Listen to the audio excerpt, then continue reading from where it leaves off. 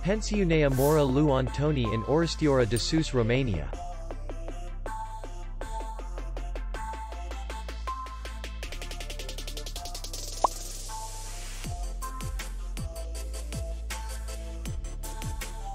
The hotel is in the city center.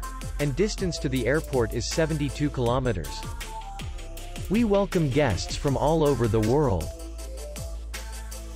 The hotel has comfortable rooms, air condition, free Wi-Fi, and parking.